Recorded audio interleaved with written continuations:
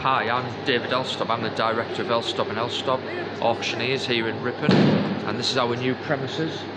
Um, we opened here in December, having moved from premises in Bedale.